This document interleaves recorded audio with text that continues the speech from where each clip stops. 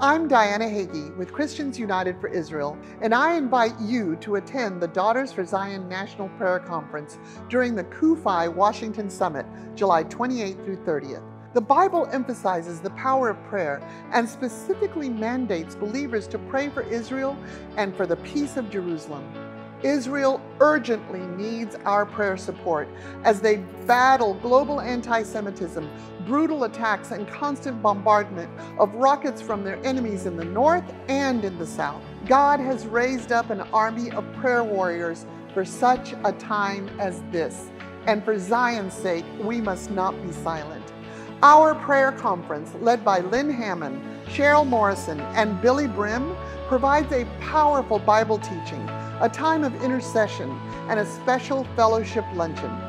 Both men and women are welcome, and I encourage you to make plans to join us at the Daughters for Zion Prayer Conference, July 28th, beginning at 9 a.m. In addition, you will hear from Pastor Hagee and foremost Middle East experts, as well as meeting with your elected officials on behalf of Israel and the Jewish people. Space is limited, so I encourage you to register today. Join us as we stand with God's chosen people. See you in DC.